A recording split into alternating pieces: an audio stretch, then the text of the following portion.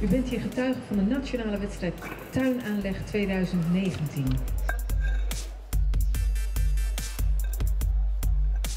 In totaal vier teams van jonge hoveniers in de leeftijd tussen 16 en 19 jaar die keihard aan het strijden zijn om die nummer 1 plaats, zodat ze straks Nederland mogen vertegenwoordigen in Rusland.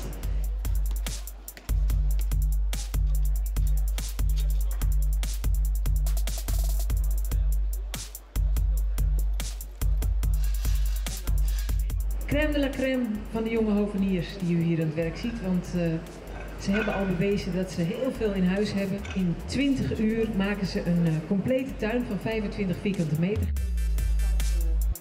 Het wordt ook allemaal nauwkeurig nagemeten.